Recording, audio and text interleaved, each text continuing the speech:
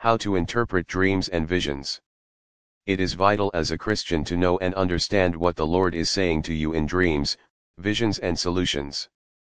He speaks to us in mysteries to keep his will secret and hidden from the enemy. Dan 2:22 It is possible to dream and oftentimes you don't understand what your dream is all about.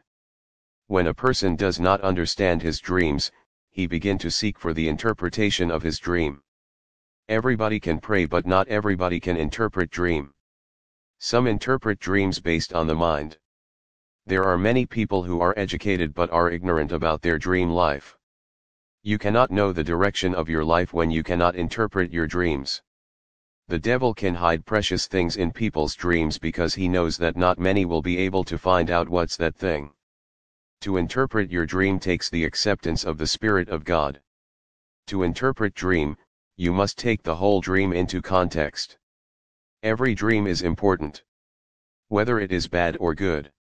One of the good things to do as a Christian is to know how to interpret your dreams in biblical background. By doing that, it will guide you on how to channel your prayers. Our dream life should be the foundation of our prayers. Because when you know the meanings of your dreams, all the secret things that have been hidden from you should be exposed. For example, if the dreams are bad, you can overcome them through prayers and fasting.